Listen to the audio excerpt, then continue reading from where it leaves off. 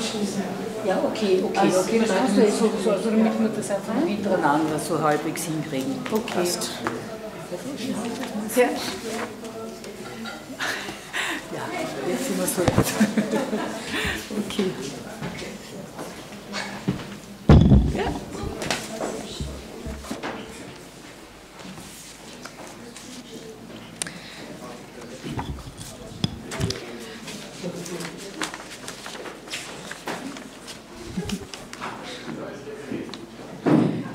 schönen, hört man mich? Ja, danke.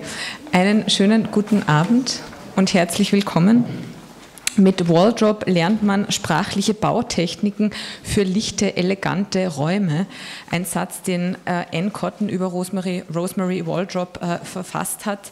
Rosemary Waldrop ist in den späten 50er Jahren in die USA ausgewandert und ist dort eigentlich mittlerweile eine Autorin, an der man zumindest eben in den USA, wenn man sich mit experimenteller Poesie befasst, eigentlich nicht vorbeikommt. Damit das im deutschsprachigen Raum auch so ist oder so sei, ist es ganz wichtig, dass diese Texte übersetzt werden und Anne Cotton und Elfriede Tschurder haben dazu beide ganz wesentlich beigetragen. Sie haben beide Rosemary Waldrop übersetzt und was ich erst in Vorbereitung des heutigen Abends erfahren habe, Rosemary Waldrop hat wiederum die Texte der beiden ins Englische übersetzt. Also es ist sozusagen der heutige Abend wirklich auf mehreren Ebenen ein Abend, der sich mit verschiedenen Übersetzungsprozessen befasst. Und ich danke auch beiden ganz herzlich fürs Hiersein und auch dafür, dass Sie sich bereit erklärt haben, an dem heutigen Abend auch wirklich einen dialogischen Abend gemeinsam zu entwerfen, an dem Sie aus Ihren jeweiligen Übersetzungen äh, lesen werden, auch ein bisschen kommentieren werden und Sie werden auch ein bisschen ins Gespräch kommen, zum Beispiel eben über das Thema Übersetzung, das gerade bei einer Autorin wie Waldrop natürlich auch kein ganz einfaches ist. Ähm, Anne Cotton hat Pippins Tochters Taschenbuch übersetzt. Das ist noch eine etwas jüngere Übersetzung. Ein Text, in dem äh, Waldrop sozusagen eine Reflexion ihrer eigenen Geschichte ins Zentrum setzt. Ein in kurze Abschnitte gegliederter Text, aus dem wir auch heute eine Lesung hören werden. Und sie hat auch den ähm, bei Rough Books erschienenen etwas kleineren, zwei, also kleineren ähm, vom Umfang her, äh, Band. Ähm, Rehearsing the Symptoms, das Proben der Symptome, wie gesagt, zweisprachig übersetzt. Aus dem werden Sie am Ende des Abends auch noch etwas hören. Und Elfriede Turda hat bei Edition Korrespondenzen erschienen den Band ins abstrakte äh, Treiben übersetzt, äh, oder er ist dort erschienen. Sie hat ihn gemeinsam mit Geoff House übersetzt. Ein Band, äh, der sich mit, äh, mit Tendenzen des Abstrahierens, der Abstraktion in Bezahlsystemen, aber auch in der Malerei befasst. Also die Texte sind auch relativ unterschiedlich und so werden wir hoffentlich ein bisschen einen Überblick auch äh, durch die verschiedenen Stimmen von Waldrop sozusagen hören. Vielen Dank nochmal an euch beide für die Vorbereitung und natürlich die Übersetzungen. Die Bücher erhalten Sie dann auch natürlich am Büchertisch und damit darf ich an euch übergeben. Ja, danke.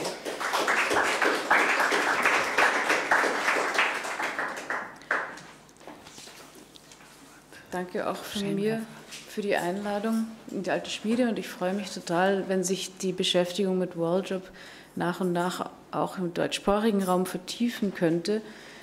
Ähm, bei mir persönlich war es auch ein, äh, hat es länger gedauert. Also die erste Be Begegnung mit Rosemary war tatsächlich, als sie Übersetzerin und Vermittlerin war und äh, mich um Gedichte gebeten hat für eine Anthologie äh, Ten Poets, äh, Ten New Poets aus Berlin. Und ähm, zu dieser Zeit habe ich ihr Übersetzungen ins Englische meiner eigenen Gedichte geliefert. Sie hat sie sozusagen noch einmal überarbeitet, dann ich noch einmal etwas auszusetzen gehabt. Und ähm, das war eben die, der Austausch. Ich war da komplett in meinem eigenen Zeug versponnen. Und erst eben fast zehn Jahre später bekomme ich den Auftrag vom Surkamp Verlag, dieses Buch äh, Hanky of Pippin's Daughter zu übersetzen.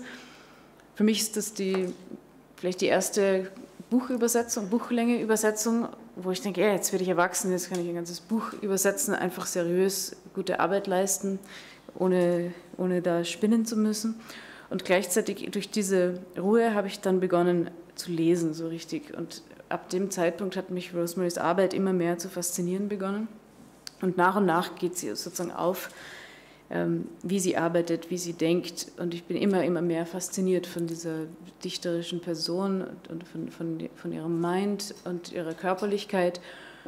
Und habe den Eindruck, dass sie auch viele Themen vorwegnimmt, die jetzt auch sehr modisch werden, also Embodiedness, Queerness, die, die Interaktion von Musik und Kognition, Logik, Mathematik und Sprache.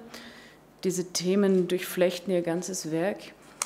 Und sie hat auch ähm, in ihrer Arbeit als Verlegerin, als Übersetzerin und als Selbstdichtende eine ständig und beständig reflektierende und beständig, aber auch einfach verlässlich arbeitende Art sehr, sehr gut kombiniert. Also ich habe von dieser Beschäftigung auch sehr, sehr viel gelernt und irgendwas erscheint möglich, was mir vorher nie möglich erschienen ist. Um kurz etwas genauer vorzustellen, wer diese Person ist, also Rosemary Waldrop ist in Bayern, in Kitzingen geboren und lernte ähm, kurz nach dem Krieg den US-Soldaten Keith Waldrop kennen, anlässlich eines Konzerts. Also die Musik spielte in beider Leben immer eine sehr wichtige Rolle. Und sie haben sich, äh, sie haben da englische Gedichte ins Deutsche übersetzt gemeinsam und haben sich danach immer wieder getroffen, zum Beispiel in Marseille, äh, in, in Aix-en-Provence, wo sie beide, glaube ich, ein Auslandssemester sich einrichten konnten. Und 1958 konnte Rosemary Waldrop in die USA auswandern. Sie haben geheiratet, vermutlich wie wir alle aus Visumsgründen, und ähm, kauften dann 1961 eine gebrauchte Druckerpresse. Und das war eben die Grundlage, der Grundstock von Burning Deck Magazine und Burning Deck Press. Und dann, also ich glaube, ein paar Jahre später begann sie, also 1916, also Keith und Rosemary Waldrop haben gemeinsam studiert an der University of Michigan und ähm, Rosemary hat 66 abgeschlossen und 71 war die Habilitation Against Language und sie hat begonnen an der Brown University in Rhode Island zu unterrichten, wo sie bis, zu, bis jetzt wohnt. In, in ähm, wie heißt das? Also Rhode Island ist der Staat, der kleinste US-amerikanische Bundesstaat und, und Providence ist die Stadt. Und ähm, diese Habilitation Against Language ist, ist schon ein sehr interessantes Werk, das, das, mit dem ich mich gerade beschäftige. Das geht der Frage nach, ähm, warum viele Schreibende, besonders Avantgarde-Schriftsteller, nie aus einer Unzufriedenheit mit der Sprache heraus schreiben. Also das ist die Grundthese. Also eine negative, kritische oder einfach rebellische, unzufriedene, negative Einstellung zur Sprache, die sprachlich produktiv wird. Eine Art Widerspruch oder Paradox oder merkwürdiges Verhalten. Und sie bringt da auch also viel Literatur aus der Psychologie zusammen, viele ja, verschiedene Autoren, sehr gut ausgewählt, die die, ähm, die, die Sprache reflektieren. Und also das, das finde ich auch sehr, sehr lesenswert.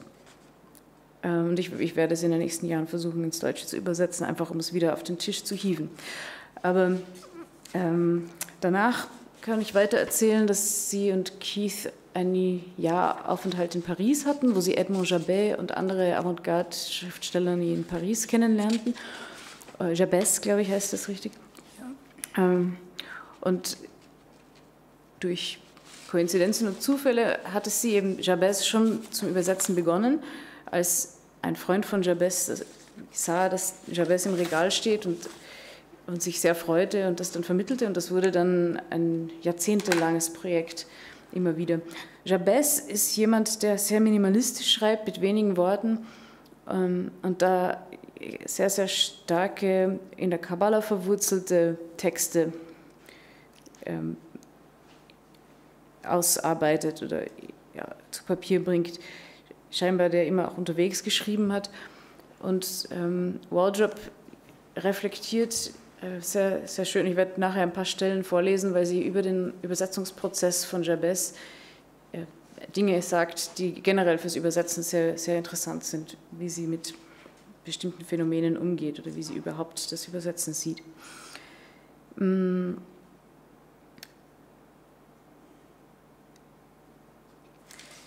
So, soweit so ein ganz, ganz grober Abriss von, von ihrem Lebenslauf.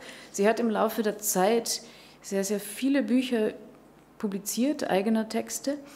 Und sie haben eine ganz sanfte Entwicklung. Also das Das erste, der erste Gedichtband ist The Aggressive Ways of the Casual Stranger. Und ich wollte daraus ein kurzes Gedicht vorlesen auf Englisch, um so einen, Punkt in der Zeitlinie 19, 1972 ist das erschienen, das ihre, ihr Lebensgefühl vielleicht in den USA ein bisschen beschreibt. Das heißt Between.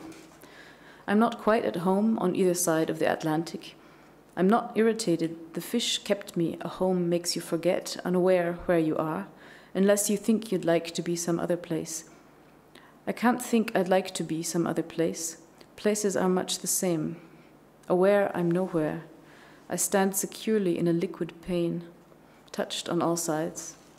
To change your country doesn't make you grow, a German doll into an image of America. It doesn't make you change so much. You can't remember. I remember, things are much the same, so much the same, the differences are barbed. I tried out living, living at a distance, watching from a window, immobile, not all here or there, a creature with gills and lungs. I live in shallow water, but when it rains, I inherit the land. Man sieht schon, wie sie eigentlich ganz subtil, zum Beispiel Pain, da denkt man, das ist Schmerz, akustisch gesehen, aber es steht Pain, die, die, die, Glas, die, die, Glasscheibe drin. Und solche Dinge, sie macht da nicht ein ganzes Gedicht draus, aber sie pflicht es eben sehr sorgfältig ein. Was ich dann eben übersetzt habe, ist ein Buch, mit dem sie quasi ihre eigene Geschichte aufarbeitet und, und nicht nur die eigene, sondern die Verflechtungen mit der Nazizeit, Fragen, die sie sich stellt über ihre Eltern und Geschwister.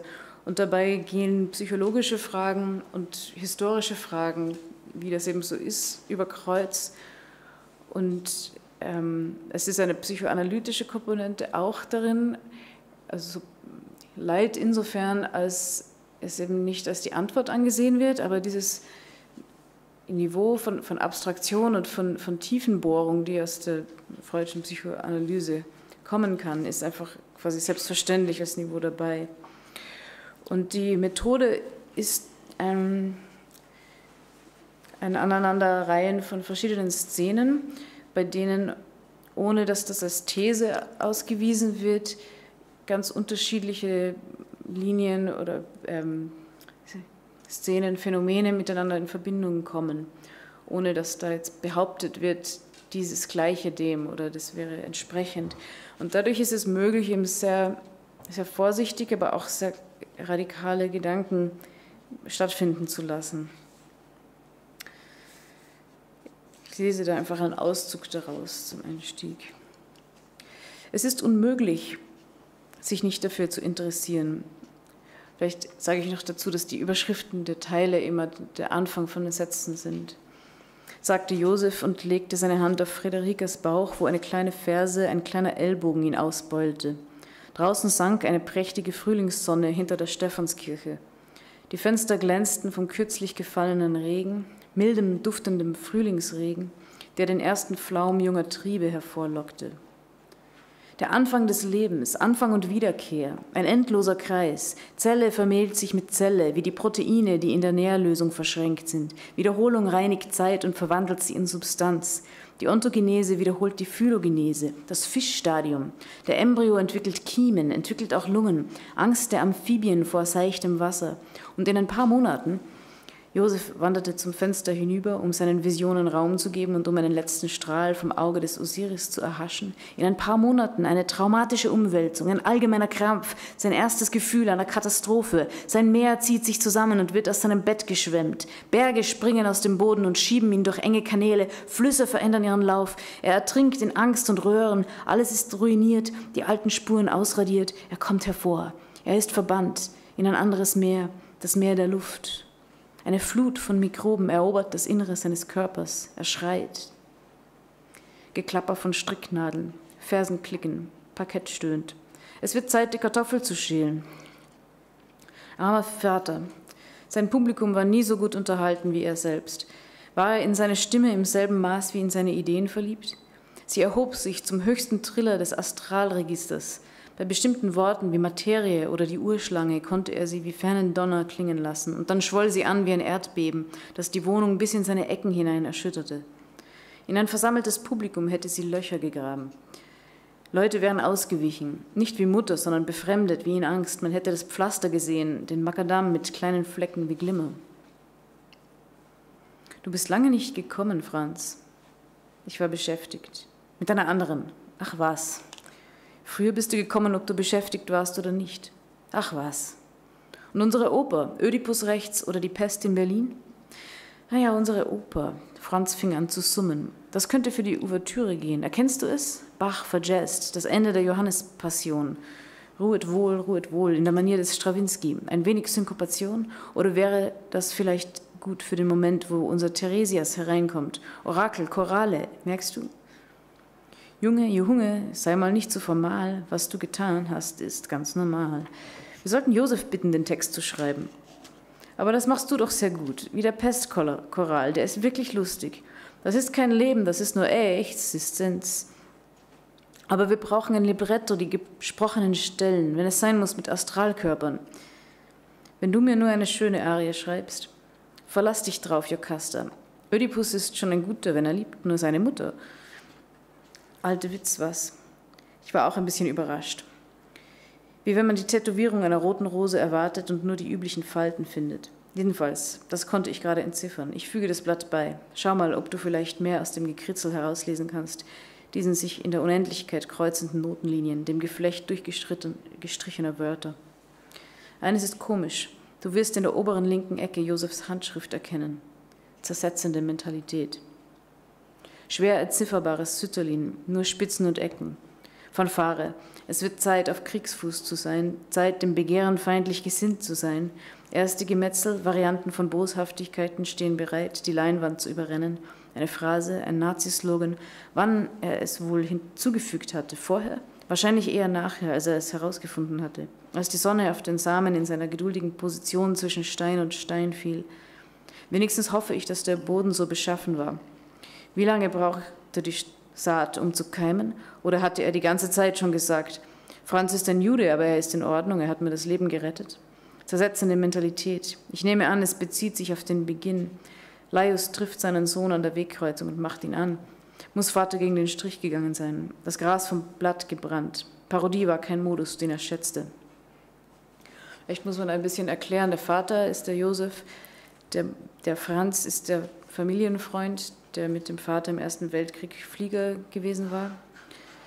Und die Mutter Franziska ist sozusagen ähm, mit Josef verheiratet und beginnt eine Affäre mit Franz, sodass für die Töchter in Frage steht, wessen Tochter sie genau ist.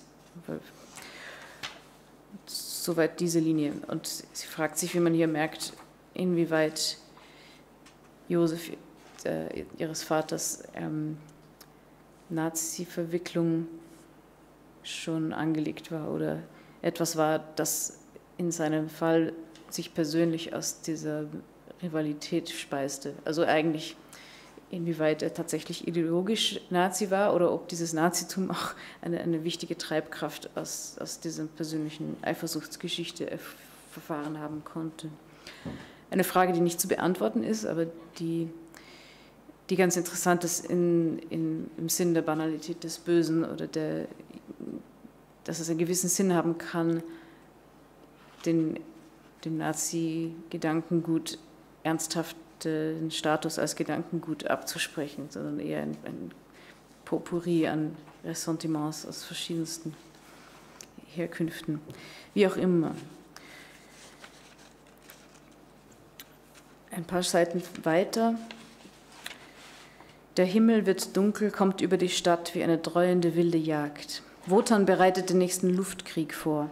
Mit riesigen Gewitterwolken, brodelnd und wallend aufwärts von ihren Unterseiten, schwarz wie Tinte.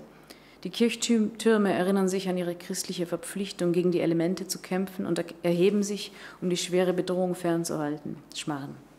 Der Turm der Hospital Trust Bank erhebt sich höher als jeder andere Turm der Stadt, höher als die Kirche von Roger Williams um das Kapital seiner Besitzer gegen Naturkatastrophen zu schützen? Siehst du, wohin mich diese deutschen Erinnerungen bringen? Wilde Metaphern, Mythen.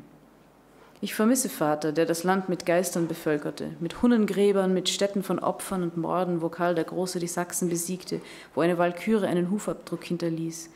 Sicher habe ich Pilgerfahrten unternommen zum Wohnhaus von Sarah Whitman, von Anne Hutchinson. Ich bin Paul Reveres Ritt nachgewandert, folgte der Spur des Skeletts im Harnisch des Königs der Freibeuter, des letzten der Wampanoags, ging die Charter-Eiche besichtigen, Willis Hill, Joseph Wadworth, ein Spalt, in dem man die Hand hineinstecken kann, mit einer Pergamentrolle. Reichlich dramatisch, aber kein Vergleich mit Wotans Eiche. Wotans Eiche, hat Vater dich, womit äh, Andrea angesprochen ist, die andere, also die eine der beiden älteren Zwillingsschwestern, hat Vater dich auch dahin, dorthin geführt? Ein dunkler Baumstumpf, der das Licht nicht anzunehmen schien. Der Wind wiederholte den Namen. Wotan, Wotan, immer denselben, flüsterte oder heulte im Sturm. Der Himmel erschien leer über dem Kloster, das Blau ausgeronnen, als ob seine Tiefe mit dem Gott verschwunden wäre in Trauer um den Baum, den St. Bonifatius, St. Kilian, St. Kolonat und St. Totnan gefällt haben, irische Mönche. Ich erinnere mich an den Tag, düster, Nebel kam in Fetzen und Böen herbei wie der Rauch einer verbrannten Opferung. Vater war eloquent, seine Stimme schnitt Ebenen in die Stille. Hier hatten sie sich versammelt, die Franken und Hessen, die Männer von dem, was heute Geismar, Fritzlar, Fulda ist und auch von weiter weg aus Würzburg und Ochsenfurt, Volkach, Ebrach, Wertheim und Miltenberg, aus Karlstadt und Brückenau, Schweinfurt, Gemünden und Lohr. Gerufen von den Mönchen mit den roten Bärten, die wie so viele Banderillas die Luft voll Kreuze steckten, ihr Blut fordernd.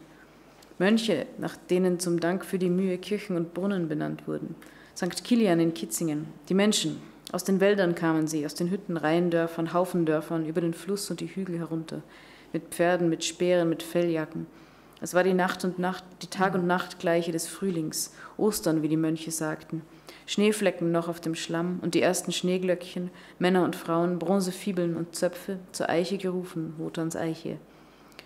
Als sie die ganze Fläche vom Fluss bis zum Hügel gefüllt hatten, vom Fluss Fulda, der mit kleinen harten Geräuschen an den Stein schwappte, bis an den Hügel, wo die Mönche mit ihrem Gefolge standen. Als sie sich alle versammelt hatten, ritt König Pippin heran, Pippin der Kleine, seine Tochter hinter ihm. Noch hatte sie ihr Taschentuch nicht aus dem Fenster von Schloss Schwanberg fallen gelassen. Noch hatte es der Hirte Kitz nicht gefunden. Kitzingen war noch nicht erbaut, erst recht nicht der Brunnen am Markt, der nach St. Kilian benannt wurde, wegen seinem Anteil daran, die Felder, die Eiche zu fällen, dafür seine wohlverdiente Strafe empfangen zu haben, zusammen mit Bonifatius im Jahr 754. Heidnische Schwerter durch seinen Körper gebohrt und noch eins in sein Messbuch. Pippins Helm glänzte in der Frühlingssonne, als er seinen Speer zu den Mönchen gerichtet in die Höhe hob. Gesang stieg vom Hügel auf, ein Flug offener Vokale zitternde Stimme des neuen Gottes, des Heilands, des Retters, des Wegs, der Wahrheit, des Lebens. Kyrie eleison, Christe eleison. Ein Aufheulen mischte sich ins Lied, als Bonifatius die Axt erhob. Die Axt traf, schlug ein in die Eiche des Wilden, der im Himmel reitet, dessen Name der Wind übt und der Sturm ruft, der sie in die Schlacht geführt hatte mit seiner Horde berittener Töchter. Valkyrie eleison. Die Felsen erbleichten wie Knochen, die Menge wurde still, zog sich vom Hügel zum Fluss zurück zur Fulda, als ob diese sie vom Sakrileg davontragen könnte, ins Freie hinaus, den ganzen Weg hinunter bis zum Rhein, zum Meer, wo der Wind ungebrochen galoppierte und Wotan noch atmete. Das Singen ging weiter, schwer mit dem dumpfen Landen der Äxte, Kyrie eleison, ein Bataillon ohne schwache, ohne schwache Flanke, Vorstöße von Kreuzen in den Himmel, wo das Weiß über das Blau gewann, wo das Weiß den grauen Ton der Asche annahm. Nur einmal gegen Ende wurde das Singen unterbrochen, als Bonifatius seine dünne Stimme erschallen ließ in einem letzten Gebet. Lass Gott sich erheben, lass seine Feinde in alle Winde zerstreut werden. Lass auch die, die ihn hassen, vor ihm fliehen. Wie Rauch vertrieben wird, so vertreibe sie. Wie Wachs vor dem Feuer schmilzt, so lass die Heillosen verenden in der Gegenwart Gottes. Die Eiche ächzte und fiel, mit einem Heulen schlimmer als jeder Sturm. Auf ihre Köpfe herniederkommend wie ein Steineregen, das Lied schwoll siegesgewiss an, Credum in unum Deum. Die Mönche, gnadenlos in ihrem Triumph, stießen die Menge in den Fluss, einen nach dem anderen in die Fulda, um wiedergeboren zu werden, in einer Luft, die von Wotans Hauch gereinigt war, der nicht wiederkommen wird, dessen Name der Wind vergessen wird. Sie zerstreuten sich über die Felder, die getauften Häupter zu Boden gesenkt, bis zum Schluss vom Credum in unum verfolgt.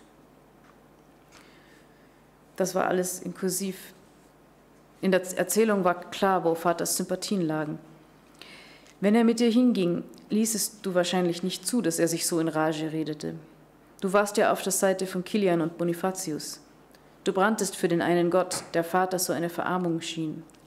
Du hast deine Stimme abgenutzt und deinen Körper erschöpft im Versuch, ihn genug zu loben. Du warst fanatisch.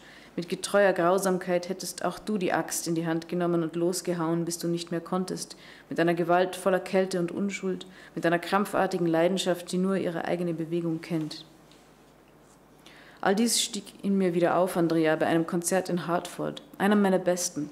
Ich begann mit Bach und endete mit Stockhausens Klavierstück 9, äh, 11. Der Weg ging über Mozart und Bartok. Keine Romantiker, nach wie vor. Bob war mit, eine Seltenheit, und las in der örtlichen Chronik. Dr. Samuel Willis war damit beschäftigt, den Wald rund um sein Siedlergehöft in Hartford zu räumen. Er hatte das zukünftige Versteck der Charter, der Verfassung von Connecticut, zusammen mit den anderen Bäumen für die Vernichtung vorgesehen. Aber die Wilden, die in der Gegend hausten, baten ihm so ernsthaft darum, die Eiche zu verschonen, und wissend, mit wem sie es zu tun hatten, begründeten sie dies damit, dass ihre ersten Blätter seit Urzeiten für sie das Signal gewesen waren, mit der Maissaat zu beginnen. Praktisch, die Gezeiten der Bäume. Jedenfalls hier sitze ich und nur weil ich nichts Bestimmtes vorhabe, bemerke ich die Bewegung, die sich am Himmel zusammenbraut, aber auch die Partikel von Teer und Russ und Auspuff, mit denen die Stadt sich auf die Schlacht vorbereitet, im Aufstand nach Tochter der Luft. Wenn ich nichts Bestimmtes sage, heißt es nicht, dass ich aufhöre, dir zu schreiben. Aber Schreiben ist anders als auf einen Bus zu warten, eine Marinade anzurichten oder Tonleitern zu üben. Es gleicht auch nicht dem Versuch, Schumann zu erobern. Der Lauf dieser Sätze scheint nicht vorwärts zu gehen, um eine Geschichte zu entwickeln, sondern in die Tiefe. Sie tasten sich in Löcher und Spalten hinein, graben nach Wurzeln, klopfen die Wände ab. Wahrscheinlich ist dir schon aufgefallen, dass dies hier nur dann nach einer Geschichte zu klingen beginnt, wenn ich etwas wiederhole, was mir Vater erzählt hat, wenn eine fremde Linse schon die unendliche Zahl der Möglichkeiten geschmälert, die Töne zu linearen Flächen und Projektionen zusammengefädelt hat. Wenn hingegen ich ein Stück Vergangenheit finde und daran festhalte, schlüpft ein anderer Teil davon. Wie dieser Sturm, der scheinbar nicht losbrechen will. Wotan hält seine Wut zurück, aber fährt fort, seinen Gegner zu beunruhigen. Die Wolken versammeln sich weiter, mit Schatten in allen Intensitäten, von zartem Grau bis in ein tiefes Schwarz hinein, das die innersten Höhlen anzeichnet. Das Ganze getränkt mit einem kupferhaften Glühen, während der Donner in immer größere Entfernung grollt. Soweit aus Pippins Tochters Taschentuch. Ich denke, man sah gut, wie sie äh, ähm, sich bewegt von Gegenwart und Vergangenheit und so weiter. Und als nächstes wird Elfriede Schurda etwas vorstellen von einem, dem Buch, das sie übersetzt hat. Ja, und ich greife dann noch einmal kurz auf einen Hinweis zu Chabès, äh, der äh, dann nachher sicher auch noch mal etwas interessanter wird in der Diskussion, wenn wir äh, sprechen über die Sprache von Amerika. Ähm, Chabès war nämlich ein, ähm, ähm, ein jüdischer frankophoner Ägypter. Ja, also ein jüdischer frankophoner Ägypter, er lebte in Ägypten und er musste fliehen während der Suez-Krise. Da ist er dann wegen seiner Frankophonie, die er ja schon sozusagen dann mitbringen konnte, nach Paris gegangen. Und ähm, äh, was du erwähnt hast, also was ich glaube ich auch dann im Übersetzungsbereich ganz äh, wichtig ist und was jetzt auch sozusagen in meinen Text, über den ich gleich ein bisschen sprechen werde, hineinspricht, das ist, dass er also kein religiöser Jude war, solange er in äh, Ägypten gelebt hat. Und wie er aber nach Frankreich gegangen ist, hat er begonnen, sich mit diesen jüdischen Traditionen der Mishnah, der Kabbalah äh, und ähnlicher, sozusagen teilweise auch mystischer äh, Traditionen zu befassen. Und Kabbalah, das ist ja sozusagen etwas ganz landläufig Bekanntes, das ist also sozusagen eine Bezifferung, die dann sozusagen die Regionen äh, des irdischen bis zum himmlischen Leben äh, abstuft äh, und dann sozusagen in, in Wahrsagungen und so weiter eine Rolle spielt. Und mir ist das jetzt nur wieder eingefallen, weil ähm, in dem Buch, äh, das ich übersetzt habe mit äh, Jeffs, Jeff House zusammen, äh, da kommt eben Leibniz auch vor mit der Null und der Eins, also der sozusagen der Erfinder des binären äh, Zählens ist.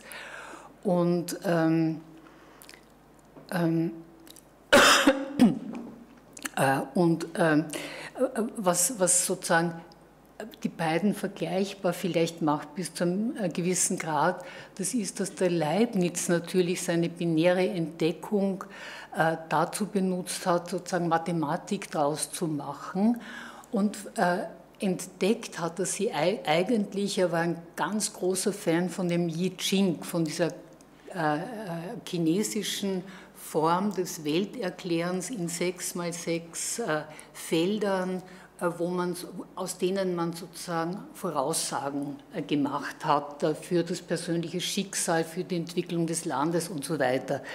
Und äh, diese Umsetzung jeweils, also so von, von Chabès äh, in sozusagen eine äh, doch säkularere äh, Welt, in der er zu leben vorhatte, die ist eben sozusagen so ein, ein kleines Parallel zu dieser Leibniz- Begeisterung für das I Ching und die Umsetzung, äh, also daraus dann auf die Idee zu kommen, äh, dass es äh, sozusagen diese binäre Schrift gibt, mit der man mathematisch Unerhörtes machen kann. Und da komme ich dann auch schon zum Text von, von Rosemarie Waldrop, dieses Driven to Abstraction. Ähm, es ist so, dass ich lange Zeit, als, als Anne gesagt hat, sie wollte sozusagen auch zum Text etwas sagen und nicht nur den Text lesen. Und habe ich überlegt, was hat mich denn eigentlich mich driven to abstraction, also mich diesem relativ abstrakten Text von Rosemary Waldrop äh, zuzuwenden. Und es ist mir jetzt erst vor zwei Tagen eingefallen. Ich habe äh, 1911, glaube ich, bei äh, äh bei äh, Edition Korrespondenzen ein Buch herausgebracht, das heißt Dunkelziffern des beschäftigt sich ausschließlich mit Zahlen und Konfigurationen aller Art, die in unterschiedlichste Formen von Poesie umgesetzt werden. Und äh, äh, wenn, wenn man, das werden Sie gleich jetzt hören, den äh, Beginn anschaut, dann äh, beginnt es sozusagen mit der Null, also der Text beginnt mit der Null, das ist sozusagen die Position, die gesetzt wird und die gleichzeitig die Lehre ist und das Nichts, also auch wieder sozusagen in abstraktere oder philosophische äh, äh, Ebenen äh, sich bewegt. Und gleichzeitig ist es so, dass dann, also es kommt dann die Eins, taucht irgendwie auf und dann taucht eben die Eins und die Null auf, zu der es Texte gibt. Und das Binäre ist ja eigentlich schon die Basis dessen, dass man sozusagen jetzt alle Welt, verkürzt gesagt, in den Ziffern 1 und 0 schreiben kann. Sozusagen man kann alles in äh, Nullen und Einsen umwandeln und ist dann wirklich sozusagen im äußerst Abstrakten gelandet. Und äh, bei Rosemarie Waldrop finde ich das eben insofern auch so interessant, weil es kommt eben dann äh, zum Beispiel also über, in der Malerei, wo äh, dieser Goldgrund in der Gotik eben Goldgrund ist, den man aber dann sozusagen äh, äh, abschafft, weil man findet, also das äh, ist sozusagen in einer Weise zu fordernd auch, das, sozusagen solche Tafeln herzustellen und den, diesen Hintergrund mit Weiß zu ersetzen in Zukunft. Und ähm, äh, sozusagen, da, geht es sozusagen äh, durch Maler, durch die Perspektiven, durch Fluchtpunkte und so weiter. Das äh, werden Sie gleich konkreter hören. Und die Tendenz des ganzen Textes ist eben sozusagen alle Punkte, die sie ansetzt, ins Abstrakte zu führen, also sozusagen auch jetzt von diesen äh, Gebieten her, äh, in denen sie schreibt. Also das Gold wird eben dann zu Papier, Geld und so weiter, das hören Sie auch gleich äh, im Detail. oder eben äh, die, äh, äh, diese, also diese Fluchtpunkte, die weiten sich eben auch aus in einer Weise, wo man einerseits ins Religiöse sticht, also mit diesem Nicht und was gibt es im Nichts, kann es dann was geben, wenn nur nichts ist und so weiter. Und zugleich aber sozusagen zu dieser Entwertung alles Materiellen führt. Also das kommt dann eben in diesem äh, wunderbaren Kapitel, wo vom Gold, von der Münze äh, man nach und nach übergeht zum Papiergeld und das äh, will ich jetzt nicht voraus äh, schon verraten, sondern ich fange jetzt an, den Text zu lesen und äh, lese einfach mal, ich schaue mal, wie weit ich komme. ähm,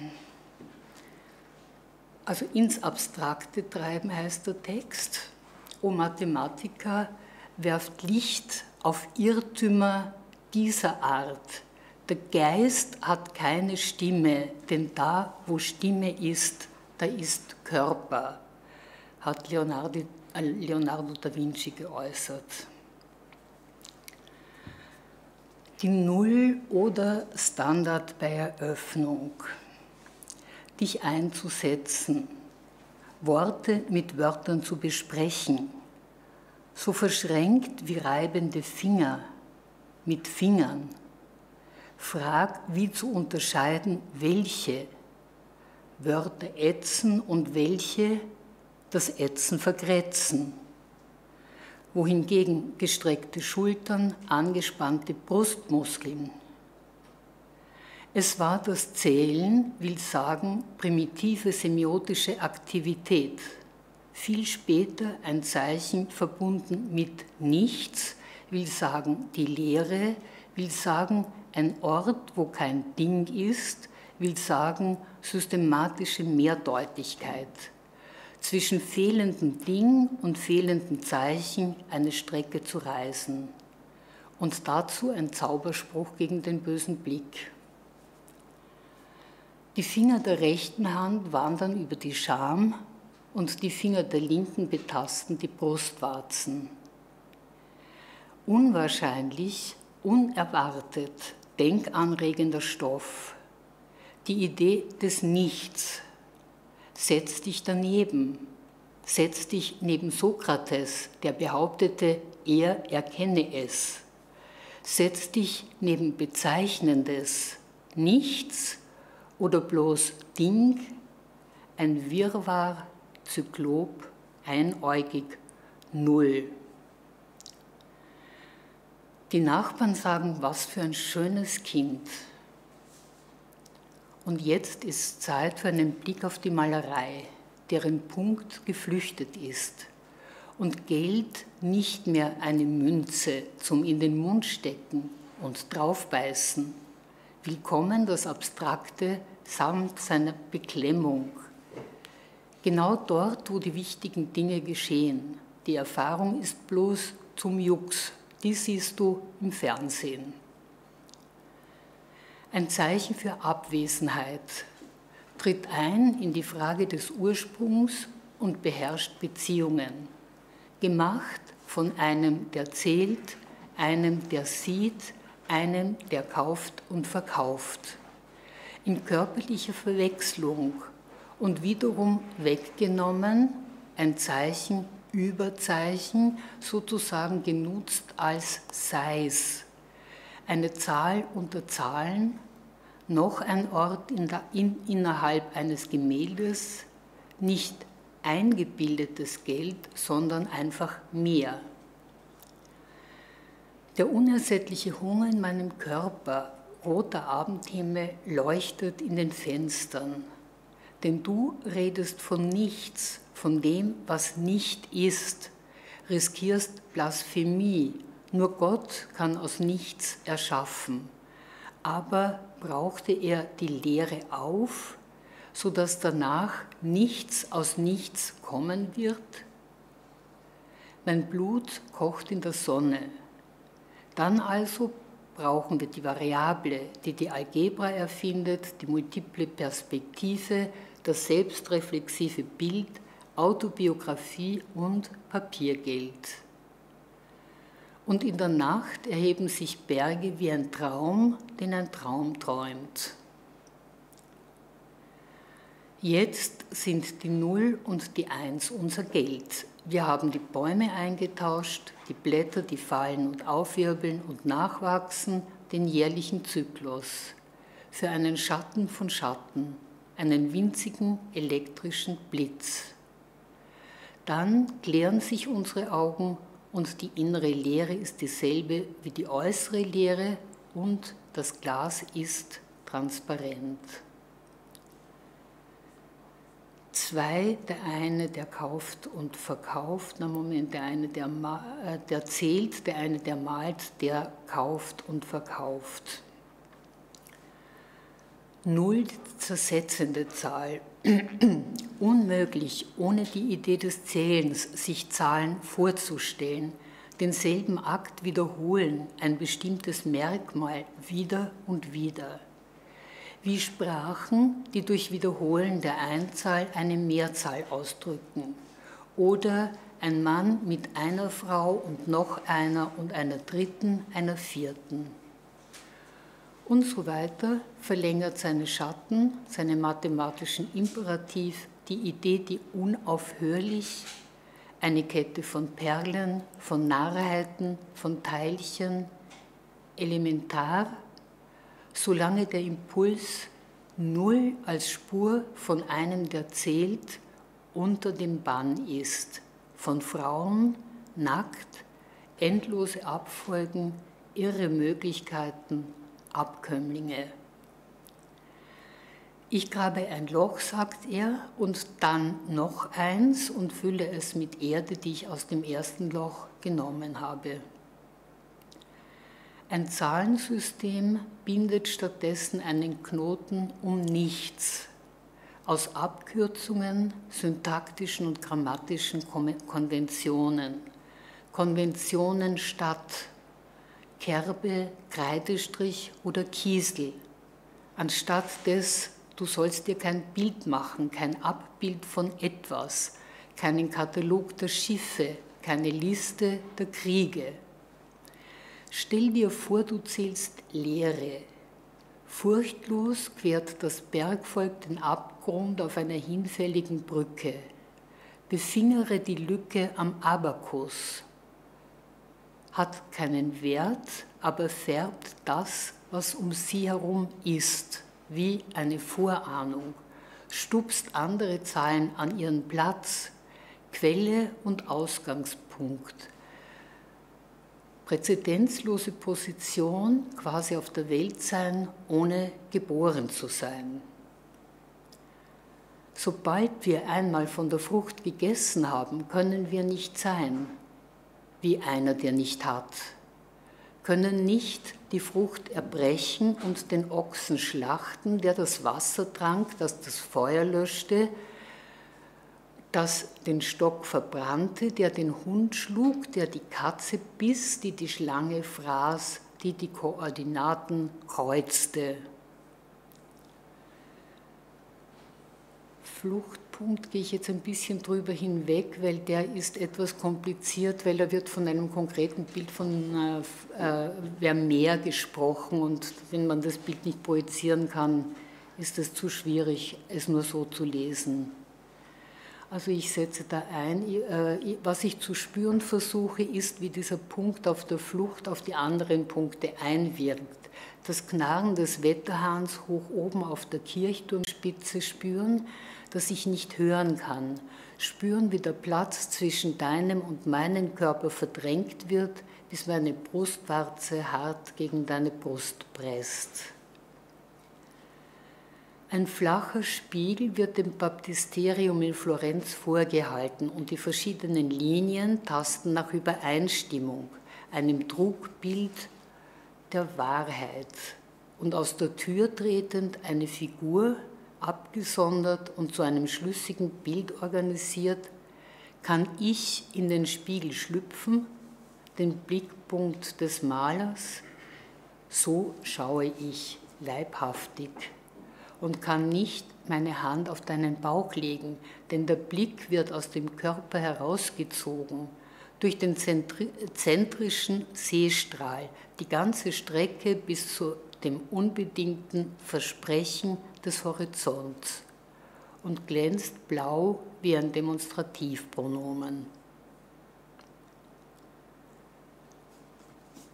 Die Erfindung der Unendlichkeit, wenn Null eine Stelle dessen, der zählt, kennzeichnet, dann die Perspektive, den Ort dessen, der sieht, der seinen Schatten wirft, dessen Seele die Flucht ergreift mit dem Punkt dem Blick, dem Anker, dem Fluchtpunkt. Eher wie im Tod, den wie ein Vogel. Und aus der Ferne zuschaut, wie der äußere Schein sein Gewicht verliert, so wie eine Flamme hinaufleckt, um eine andere Flamme zu berühren. Und ein Alarm geht los und seine Seele kehrt mit erhöhter Temperatur und einer Prise Skepsis in seinen Körper zurück. Da springe ich jetzt wieder über diese Bildbeschreibungen.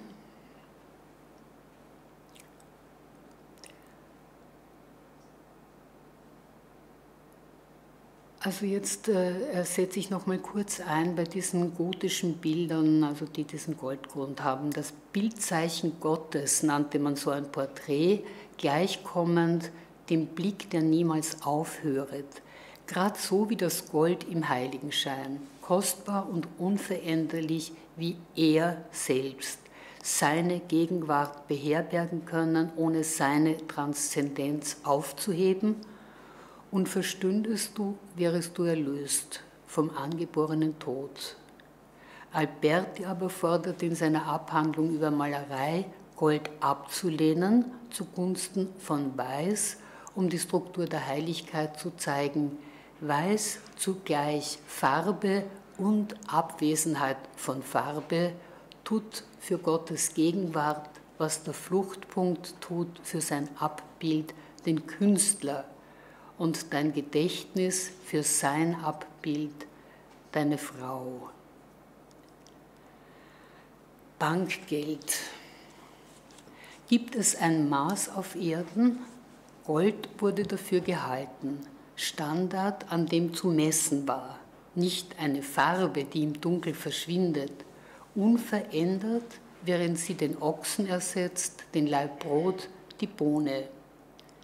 Kein Preissystem hält das Licht auf einem Gesicht zurück, nicht einmal in der Erinnerung, obwohl das Gold der Sonne den Saft beschleunigt, der in den Blättern kreist, und einen Holztisch riechen lässt nach Wald und erinnert an stoßweises Schluchzen und Butter im Mund schmilzt.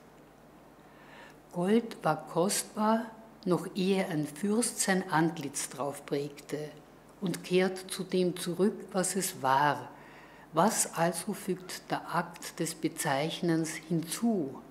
Einen Grad von Abstraktion, höher, wie die menschliche Seele angeblich mit dem Geist eines Tiers in die Welt schlüpft, aber durch die Majestät des offenbarten Wortes greift nach hoch droben die Sphäre der Nichtigkeit, der alle Welten entspringen, ist doch immer unser Hintern, auf dem wir sitzen.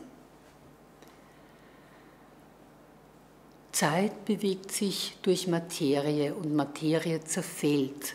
Der Rand des Blattes kräuselt sich und vergilbt, die Haut erschlafft, eine Kluft bildet sich zwischen gutem Geld, der reinen Emission des Staates und den abgenutzten oder betrügerisch verschnittenen Münzen in Umlauf. Zwischen barer Münze und einem erinnerten Gesicht, bar aller Umrisse, noch etwas toter. Wegen dieses Spalts entstand eine neue Form von Geld in den Renaissance-Staaten mit internationalem Handel, wie Venedig und Amsterdam.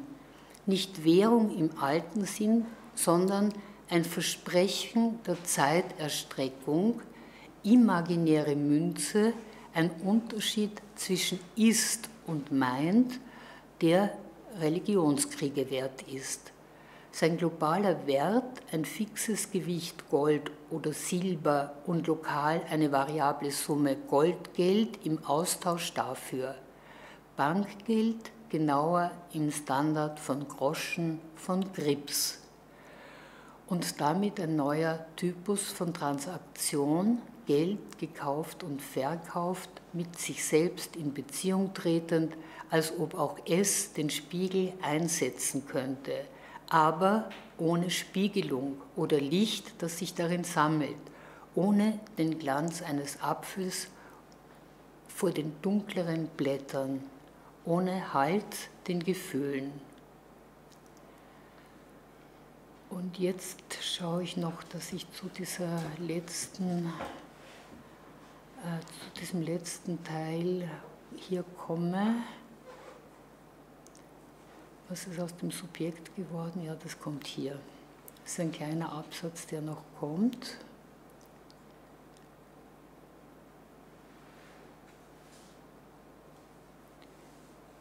Anna. Das Tolle ist hier, finde ich, dass sie, hm? man, kann, man kann manchmal abdriften, aber eigentlich ist man immer mit ihr dabei, mit dem ganzen Körper, finde ich, beim Lesen. Wenn man es nicht ist, dann kommt man auch nicht mit. Aber sie setzt voraus, glaube ich, dass, weil sie selber auch immer total dabei ist, dass ja. man als Leserin auch total dabei ist und diese Sachen alle mitmacht. Ja, und dann ja dann geht es auch auf. Ja, eben wenn man es liest und sozusagen mitdenkt, wenn man die Zeit hat zum Mitdenken und zum Umsetzen, äh, was da sozusagen sprachlich passiert, äh, dann geht es durchaus auf. Und es gibt eben so eine nette Passage noch, vielleicht finde ich die, bevor wir dann zum nächsten übergehen, wo vom Papiergeld eben die Rede ist. Ich habe sonst, musste hier jetzt sagen wir mehr Nein. Und sonst, wenn ich jetzt nicht im nächsten schon Kapitel es nicht entdecke, dann ist es Papiergeld. Bankgeld, das hatten wir schon, aber das ist jetzt hier äh, abgewandelt. Also es hat ein Amerikaner dann das Papiergeld äh, erfunden, das sage ich jetzt nur als Übergang. Ähm, äh, Papiergeld ein Skandal schlimmer als sich auszuziehen. Wer könnte einfach seinen Körper ausziehen, vergessen, dass er ihn braucht? Bloßes Schreiben bis ins Geldwesen zu erstrecken, das an sich schon eine schwer zu verstehende Sprache ist und willkürlich hergestellt, selbst gezeugt, ohne im Voraus nötigen Wohlstand. Fliegend, sagen die Chinesen, fliegendes Geld, taucht aus dem Nirgendwo auf, ist ahnungslos ausgegeben, behält nichts. Bis zu dieser Stelle wollte ich kommen jetzt. Und dann machen wir, glaube ich, weiter mit. Ja, als nächstes wollten ja. vorstellen ein Buch, ähm, das, glaube ich, in der Übersetzung von Elke Erb auch auf Deutsch vorhanden ist. Von Elke Erb und Marianne Frisch und zusammen. Marianne Frisch zusammen. Die haben das zusammen übersetzt, ja. Und also ich habe jetzt nur die englische Ausgabe dabei, aber es ist ein, ein ganz besonderes Werk, weil Rosemary Waldrop sich darin mit einem mit dem mit der ersten Sprachfibel oder Sprach, äh, ähm, Sprachlehrbuch einer indigenen Sprache der USA auseinandergesetzt hat, und zwar von dem Pastor Roger Williams, das schon in Pippin, der schon in Pippin kurz vorkam. Ähm, und den stellt sie in der Einleitung kurz vor. Also ich lese das lieber in Rosemary Waldrops Worten vor, als das selbst zu. Geht es mit dem Englischen oder soll ich da das Deutsche? Also ich setze ein mit einem Zitat von Roger Williams. Man kann übrigens das Original auf archive.org auch ähm, lesen von Roger Williams aus von 16, ähm, 16 also äh, Mitte des, Mitte des 17. 17. Jahrhunderts. I confess to have most of these their customs by their own relation. For after once being in their houses and beholding what their worship was, I durst never be an eyewitness, spectator, or looker on, lest I should have been partaker of Satan's inventions and worships, contrary to Ephes 5.11. So schreibt Roger Williams, und man sieht daran gleichzeitig, dass er die ganze Zeit ein gläubiger Missionar war, das vielleicht ernster genommen hat als sonst welche und genau deswegen aber auch die Religion der, der Indigenen ernst genommen hat. So ernst, dass er auch Angst davor hatte, das, dem beizuwohnen, aus religiösen Gründen. Also, Rosemary Waldrop schreibt, Williams was all the more impressed with the Indians' con conduct, which seemed to put the Christians to shame, and without the help of divine grace. For if he was uneasy about the Indian religion, he was indignant about much of what the colonists were doing. The key is written for them, for his compatriots who immediately misunderstood its intention. They regarded it as a factual handbook of great practical use to traders, missionaries, and settlers. As John J. Tunison and Evelyn J. Hintz say in their introduction to the 1973 reprint edition, Since the conversion of the Indian and trade with him were the ostensible reasons for colonization advanced by all parties, and since the granting of the charter for the Providence plantations coincided with the publication of a key, it was only natural for both William's supporters and opponents to treat the book as evidence of his success as a colonial agent. But the original book was not written as a handbook for successful colonization. It was written not only to teach a language, but also to teach a lesson. Each chapter moves through three stages through phrase lists and anthropological observations, which often contain ironical comments on the supposedly superior Europeans, to a final moralizing poem. The poem is always introduced with the words more peculiar, more particular, marking the importance of the lesson over the factual information preceding it. In these poems, the Indians serve as a mirror held up to the Christians. The courteous pagan shall condemn uncourteous Englishmen who live like foxes, bears, and wolves, or lion in his den. Let none sing blessing to their souls, for that they courteous are. The wild barbarians with no more than nature go so far. If nature's sons, both wild and tame, humane and courteous be, how ill becomes it sons of God to want humanity. Williams the Christian is amazed that the Indians tended to behave better than their Christian counterparts, and that with, and that with only nature's teaching. One could draw different conclusions from this, but Roger Williams saw the opportunity for a lesson. The lesson was moral and spiritual, it was also political. He writes The natives are very exact and punctual in the bounds of their lands, and I have known them make bargain and sale amongst themselves for a small piece or quantity of ground. Notwithstanding a sinful opinion among many that Christians have right to heathens' lands, but of the delusion of that phrase I have spoke in a discourse. The discourse referred to was a treatise written in 1632, which argued that a royal patent did not entitle English colonists to Indian land, that such land had to be purchased from the natives themselves, that it was in fact sinful of both the crown and the colonists to usurp, usurp land from the natives. One argument of particular interest, reported by the Puritan clergyman John Cotton, is William's attack on the doctrine of vac- vacuum domicilium, the doctrine that the colonists were entitled to the land because the Indians were not making full use of it. Williams observed that while it was true that the natives cultivated only a small portion of their land, they used all of it for hunting and for this purpose regularly burned the underbrush. As Neil Salisbury points out in his book Manitou and Providence, this is an argument based not on some abstractions of international law, but on direct ethnographic observation. Williams recognized that Indian hunting and burning were not random activities, but systematic rational uses of land in the same sense that cultivation was for Europeans. Roger Williams had already attacked the basis of the Puritan theocracy of Massachusetts Bay Colony by advocating the separation of church and state. He held that the civil power of a state could properly have, properly have no jurisdiction over the consciences of men, and that an oath could not be administered to an unregenerate man, oaths being a form of worship. Challenging the colonists' title to the land was the last straw. Moreover, as Perry Miller writes, he thus threatened the very basis of society at the, a moment when the possibility of an Anglican invasion to revoke the Massachusetts Charter and to reduce Massachusetts to conformity with England was real, so that Williams seemed to be playing into the hands of the enemy.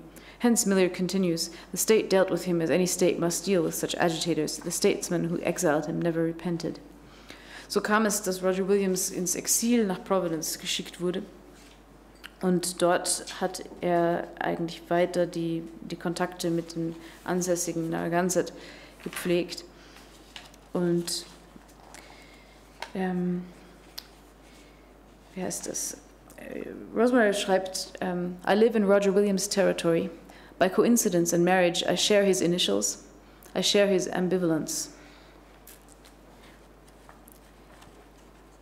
In, 19, in, 1635, Roger Williams found the Narragansetts at the height of their power in a strong, if not dominant, intertribal position. They had not been decimated by the smallpox epidemic of 1616 to 19, and according to estimates, numbered some 30,000. For a while, Williams was able to arbitrate between them and the colonists. He was able to induce the Narragansetts to ally themselves with the English against the Pequots. But he was traveling to England, ironically, to secure a charter for Rhode Island when the Narragansetts lost their fight with the Mohegans. The Narragansett Sachem, Miantonomi, who had called for the tribes to unite in common cause against the English, was captured, turned over to the commissioners of the United Colonies, and executed at their behest by the Mohegan chief Uncas. Roger Williams was there, but unable to arbitrate, when another Narragansett Sachem, Metacomet, or King Philip, rose up against the English in, 19, in 1675. Williams saw the Narragansetts defeated in the Great Swamp Fight. King Philip's head hung up as a public display in Boston, the Narragansett tribe devastated, and most of them indentured into service in colonial homes. By the mid, uh, indenture was better, better than being slow, sold into slavery, but it helped erode Indian customs. And by the middle of the 18th century, the Indians were dressing in European style. By 1800, the Narragansett la- language was dead, except in place names. We have come full circle, schreibt Waldrop. Now Rogers, Roger Williams' book is for the Indians and for me. Besides giving me a glimpse of a vanished language and culture, a key has given me this form of this work. Und dann ähm, sieht man, wie sie eben tatsächlich diese Form nachahmt. Ähm, wie, wie, sie erklärt jetzt, was sie macht. Ähm, in parallel to Roger Williams' anthropological passages, the initial prose section of each of my chapters tries to get at the clash of Indian and European cultures by a violent collage of phrases from Williams with elements from anywhere in my Western heritage. I try to enact the confrontation of the two cultures by juxtapositions, often within a single sentence. Roger Williams' voice will be recognized by its archaic syntax and vocabulary printed in boldface. There is also an additional tension between the values of the 17th century settlers, saints, pilgrims, and my own, which are not only secular but also informed by 20th century hindsight as to the long range destruction inherent in the settlers' struggle to survive. To reinforce the theme of conquest and gender, every chapter adds a narrative section in italics, in the voice of a young woman ambivalent about her sex and position among the conquerors. Every chapter also has its word list and final poem. These play across both themes. All in all, my book could be called an immigrant's take on the heritage and complex early history of my adopted country, or perhaps a dive into the waters of the Mosup and Pawtuxet rivers of Mishnok, Ninigret, Paquiset, Wachaug, Wesquage, and Yaugug ponds. Was vielleicht noch kurz erwähnenswert ist, ist ähm, vor vier fünf Jahren oder 2014, glaube ich, ist schon erschienen eine Anthologie von experimenteller amerikanischer indigener Literatur oder Poesie, die mich sehr beeindruckt hat, ähm, herausgegeben von Heidi Erdrich, die auch deutsche Wurzeln hat und auch ähm, Mitglied von, ich glaube, mehreren Stämmen ist. Und was mich da beeindruckt hat, war, dass das, was Rosemary Waldrop aus, aus ihrer Immigrantinnen-Sicht gemacht hat, jetzt, jetzt glaube ich, zunehmend, also durch die Verbreitung des Zugangs zu experimenteller Poesie in den USA, auch eine Möglichkeit ist für Mitglieder dieser verschiedenen indigenen Gruppen, die selbst oft ihre Sprache verloren haben oder sie erst zurückgewinnen müssen, indem sie sich selbst als Erwachsene lernen, dass sie mit den Mitteln der experimentellen, des experimentellen Schreibens sich mit diesen sprachlichen Interfaces auseinandersetzen was ich sehr interessant finde. Und jedes Mal ist das Experiment etwas anderes. Für uns, finde ich, aus, aus Wiener Sicht ist das ein total wichtiger Punkt, weil, weil es zeigt, wie experimentelle Poesie oder so etwas nicht eine Sache ist oder nicht eine Bewegung, Avantgarde-Bewegung oder so etwas, sondern sich in jedem Fall als etwas Neues zeigt, als Methode oder als Interface, finde ich. Also mich hat das jedenfalls sehr beeindruckt, in diesen vielen Fällen, wo diese konkrete Geschichte mit Hilfe von Sprachexperimenten Formen findet. Aber jetzt hören wir in deiner wir Übersetzung zwei, äh, etwas aus dem Text Aus, dem, aus den äh, Übersetzungen, also wo sie sozusagen äh, äh Wörter aufgenommen hat aus äh, diesem indigenen Wörterbuch und daraus äh, Gedichte gemacht hat. Wir lesen jede einige wenige. Ähm, nicht hier, da fängt an, von den Jahreszeiten. Sie haben 13 Monate und geben sich damit zufrieden. Den Mut, Organe wachsen zu lassen, in Erwiderung auf Mangel, in der Art, wie eine Giraffe ihren Hals streckt, Überlegenheit zu ersteigen, Können Jahreszeiten den Tag um die Sonne zwingen? Ist dort kein Ende von Schwelle oder Häutung? Die Hauptschwierigkeit mit der großen Linie der Natur ergibt handgehaltene Belichtungen wie oh, äh, Tashikau Tumo. Wie viel Jahr seit fatalem Ausdruck, seit Semantik, seit Einfluss. Und die zwei Wörter drunter sind aus und ein. Auf Englisch able und ing. Ja, Dann, ich glaube, wir machen nur jetzt diese ganz abgekürzten oder diesen Text auch dazu jeweils noch ein. Ich würde eine so eine Sequenz mal durchlesen, damit wir das im Flow haben. Ja, okay. So. Also wurde zum Schlafen auf den Balkon verwiesen. Ah, jetzt brauche ich eine andere Brille.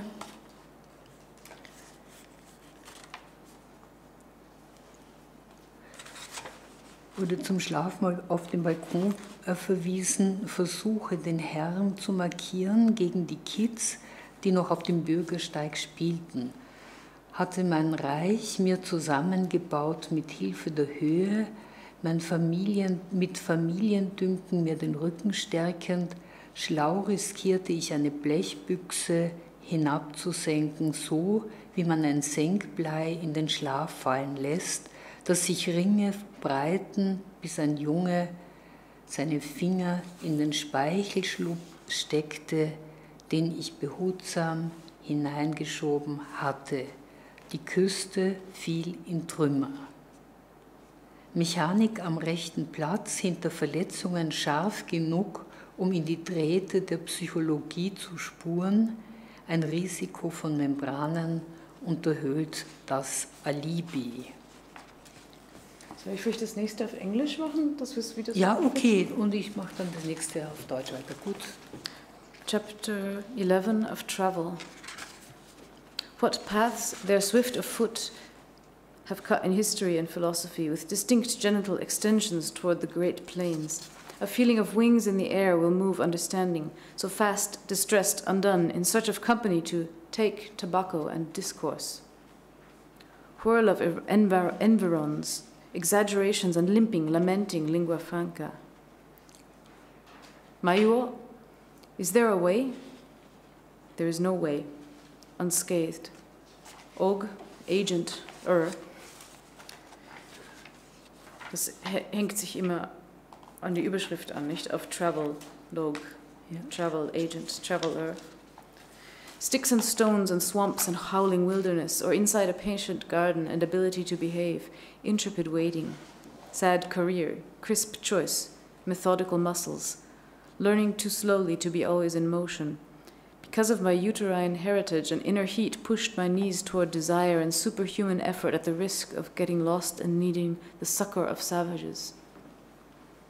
As if but once they think they live, and without shoes into the country's bowels, my arms twisted from birth to stay inside and add it up to zero. Äh, betreffend die Himmel und himmlischen Lichter, welch selbige sie anbeten, über der eingeräumten Kolonias Kolonialisa Kolonisation. Die gestirnte Blässe wohnt den Mächten bei, der irrsinnig aus ihren Sphären schießen.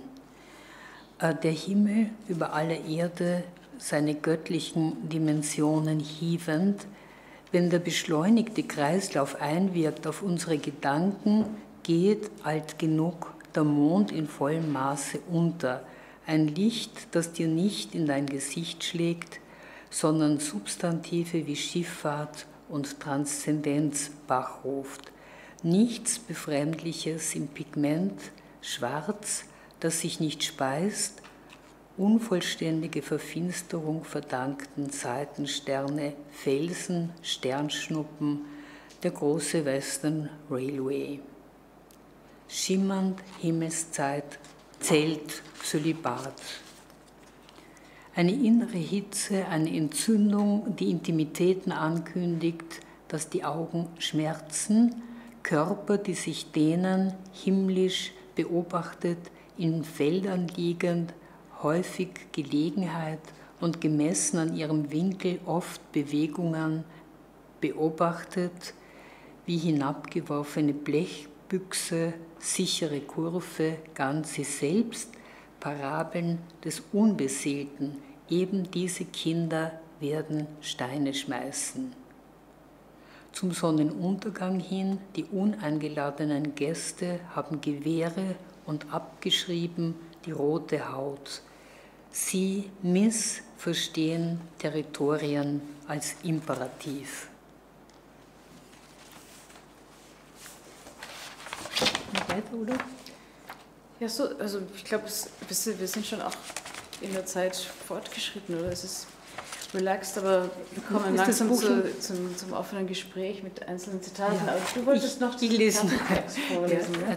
Das steht sozusagen, was ich jetzt vorlese, steht als Klappentext upsala, auf, dem, auf, äh, auf ein Schlüssel zur Sprache Amerikas. Und den finde ich aber für diese Zeit einfach notwendig, dass man ihn hörbar macht. Ich bin weiß und gebildet, ich bin eine Frau und eine Dichterin. Dichter werden heutzutage für Randfiguren im Leben der Gesellschaft erachtet, von zweifelhaftem sozialen Nutzen. Als Frau erscheine ich nicht als Eroberin im Hütchenspiel der Archetypen, sondern als erobert, als Kriegsbraut. Als Frau habe ich über die indianischen Gesellschaften keine Illusionen. Sie waren keineswegs ideal. Die Kolonisation Amerikas brachte die höchst männliche Indianerkultur in die Position der eroberten Frau, einen Teil des Landes, das da war, um genommen zu werden. Ich kann mich mit beiden Seiten des Konflikts identifizieren und ich bin ambivalent gegenüber jeder Seite. Soweit dieser Text. Und irgendwie aktuell auch, glaube ich, wenn man ihn so hört. Ich finde, dass es sich vielleicht auch so langsam zusammenzieht, wie, also aus, ich, mir scheint, dass Rosemary, äh, was aus der Logik der Sache auch verständlich ist, ja. sich einerseits in diese extreme Abstraktion verankert, ja. Und andererseits eben sehr körperlich schreibt, musikalisch genau, genau, und, und genau. mit dem ganzen Erleben und der Sinnlichkeit der ja. Beschreibung. Und dass diese Verankerung eben ihre Texte so stark macht. So Aber auch es, eben zu, zu, Texten, die man tatsächlich mit Zeit und mit eigenem Einsatz sozusagen durchlesen muss. Ja, Wenn man versucht, sie zu erledigen, funktioniert das nicht. Gut, ne? Es gibt auch ein Gedicht, auch wieder in diesem 1972 erschienenen The Aggressive Ways of the Casual Stranger auch schon ein höchst ambivalenter Titel, wo sie das Wort queer benutzt, was ich mhm. sozusagen das ist erstaunlich, ja. Mhm. früh finde. Oder sie ist ja eine verheiratete Frau und als Couple haben sie diesen Verlag gemacht, aber ich glaube, dass sie auf ihre Art so eine Art Queerness gelebt haben. Aber das sind Dinge, über die man von außen schwer sprechen kann. Nur etwas in ihrer, in, in ihrer Wissendheit in allen Bereichen scheint mir so etwas zu suggerieren. And how do you see yourself, Mrs. Waldrop? If I believe only what I see, I'm bulging breasts, heavy belly, dwarfed legs, queer, the way my shoulders run out into nothing. But I more commonly play mirror, myself opposite my body. On an imaginary spot, I fill the nothing with the memory of a reflection. Not bad, everything's more beautiful. Under glass lamps shine more brightly in a room seen from the street, so this would be okay, except the eye jumps back into my body, goes through the tunnels of my skin, sees nothing inside, only through it, to other sides, to other surfaces. Queer, the way my body is empty in its skin.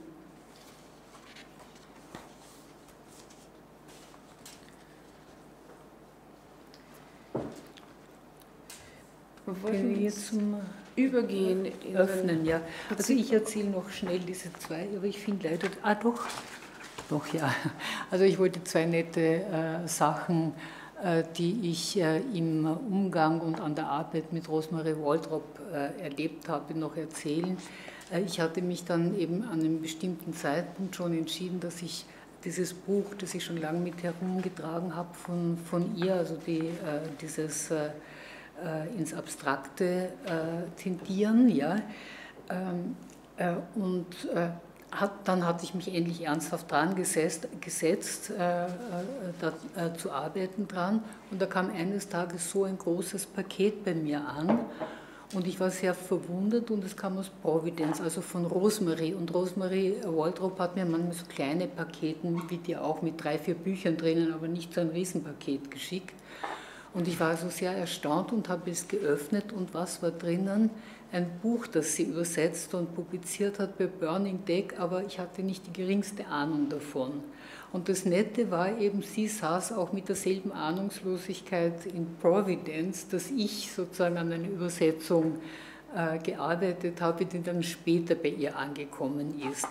Und dadurch waren wir so ein bisschen, also mit dieser Übersetzung auch ein bisschen in Korrespondenz und eines Tages hat sie mir eben äh, eine Rezension, da war das Buch schon erschienen, Driven to Abstraction, hat sie mir eine Rezension geschrieben und hat eben geschrieben, also es ist mit ihrem Mann jetzt im Augenblick äh, gesundheitlich ein wenig äh, schwierig. Und ich habe mich daraufhin nicht nur bedankt, sondern habe gedacht, ich muss jetzt auch ein bisschen was Persönliches sozusagen einen Satz dazu schreiben und habe geschrieben, ja, mir geht es im Großen und Ganzen gut, leider tun meine Augen nicht mehr ganz, was sie wollen. Und da ist eineinhalb Wochen später nochmal so ein Paket gekommen. Und da war dieses drinnen als warme Empfehlung. Ich sollte mir für jeden Tisch in meinem Quartier so eine Lupe kaufen. Sie hätte das auch so gemacht. Und mit dieser habe ich dann begonnen, sozusagen. Aber das ist nur nebenbei, ja. Also wir, unsere Frage war, ob es jetzt noch Interesse, also Fragen gibt äh, zu einem Gespräch über die unterschiedlichsten, es war ja sozusagen weit gefächert eigentlich auch, und übersetzen, ob wir darüber uns noch äh, ein bisschen unterhalten sollen, aber das machen wir jetzt von Ihnen abhängig. Also mitgebracht hätte ich jetzt noch einige Zitate zum Übersetzen aus dem Buch, den Rosemary Waldrop, das Rosemary Waldrop über Edmond Jabez geschrieben hat, nach dessen Tod und die aber allgemein das Übersetzen reflektieren. Und dann das Buch, das zweite Buch, das ich übersetzt habe von, 19, äh, von 2019, das ich sehr schön finde, damit würde ich dann schließen, dass, wir, dass da ein paar Texte Deutsch-Englisch Ach so, ja, das werden. wollten wir ja dann auch Aber machen, bis dahin ja. hätten wir gedacht, dass wir eben über das Übersetzen generell auch vielleicht über die eigenen Erfahrungen beim Übersetzen von Waldrop, die auch nicht einfach ja. zu übersetzen ist, aber jedenfalls immer ein, ein so höchst interessante und reiche Probleme bietet und eben am liebsten offen, dass auch Fragen vom Publikum sich da Darf einmischen können. Vielleicht noch ein kleines Zitat vom Chabez äh, äh, da anbringen. Das ist ein ganz kurzes Zitat. Ich weiß jetzt gar nicht aus welchem Text von ihm. Das Wort gewinnt seine Heraufkunft von dem, der es wahrgenommen hat Entblößt läuft es Gefahr, zu gefallen oder zu missfallen, beurteilt zu werden, heißt es in einem äh, posthum eben erschienenen Text. Was sollte es im Übrigen anderes sein als ein Denken, das dem Tag entlockt wird?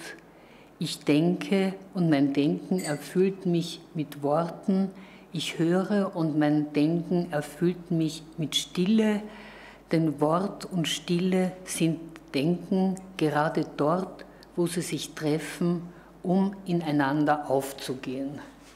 Das finde ich eine unheimlich schöne sozusagen Zusammenfassung, was Dichtung im weitesten Sinn für ihn äh, mhm. bedeutet, also wo es seine Wurzeln hat. Ja. Kann vielleicht erzählen, also ich habe lange mich gescheut vor der ganzen Jabez-Geschichte, weil ich weiß, dass ich viel zu wenig über die Franzosen generell sozusagen weiß, weil ich eine französische Allergie habe ein bisschen. Aber ich habe dann doch Jabez-Bücher bestellt und zwar in deutscher Übersetzung und war dann das erste, was ich aufschlug, hieß Hände oder es ging um Hände und das sind sehr, sehr wenige einzelne Wörter auf der Seite mit viel Platz dazwischen und es wird dieses sozusagen Thema oder dieses Motiv der Hände in allen möglichen Richtungen oder Hinsichten sozusagen mit wenigen Worten so beleuchtet oder enacted und dabei ähm, ja, in, in alle möglichen Tiefen von, von Horror und von Ekstase gestoßen mit ganz wenigen Worten. es, es, hat mich sehr beeindruckt, das zu lesen und auch beeindruckt als, als so eine minimalistische Übersetzungsleistung, die schwer zu verstehen ist, weil es geht ja um ganz wenige Wörter. Und wenn ich in so einer Situation bin, dann weiß ich, wie merkwürdig es ist, entweder, also irgendwie zu segeln zwischen der totalen Manie, wo alles mit Bedeutung aufgeladen ist und fast jedes Wort, das man da hinsetzt, irgendwie extrem toll psychedelisch wird und auf der anderen Seite einer, einer Art Banalitäten, banalen Lesart, wo ich sicher bin, auf der Seite der, des, des kollektiven Sprachempfindens zu sein, das aber sozusagen stumpf klingt, das eben nicht diesen, diesen Sound hat. Und um dieses Problem zu lösen sozusagen, gibt es bei Rosemary, was sie vorher, glaube ich, the, the, the Muscle of Method, also oder etwas, eine, eine eine methodische Muskularität, die, die auch was mit Sport vielleicht zu tun hat. Jedenfalls die Praxis, eine bestimmte Abfolge von Handlungen durchzuführen und sich darauf zu verlassen, dass in diesen sozusagen rituellen Arbeiten Probleme gelöst werden, die man nicht sozusagen mit einem Mal knacken kann, sondern wo man sich selbst auch an, an die eigene Arbeit immer gewöhnen muss. Sie schreibt dazu einiges. Also das erste Zitat war, wo sie wiederum Nicholas Abraham zitiert, Rhythmizing consciousness emerges as a fascinated consciousness, subject to a fatal, horizonless future. The use of space, so Waldrop weiter, in the service of consciousness and the magic, the music of sound, this tension establishes its own rhythm which avoids the pitfall of fascination. Es kam mir dann auch so vor, als würde, würde das heißen, in diesem Schreiben von Jabez und in diesem Übersetzen vom Schreiben von Jabez, dass man immer wieder sozusagen in, in eine Bewusstheit oder Nüchternheit sich zurückzieht, wie, wie so fast Brennstäbe wieder aus, den, aus dem Brennen herausziehend, um immer wieder sozusagen etwas passieren zu lassen und das dann wieder zu reflektieren, um nicht in diese Trancen hineinzufallen, die natürlich toll sind, aber die einfach nicht, nicht die Nüchternheit ermöglichen, die die Übersetzerin braucht, der Übersetzer.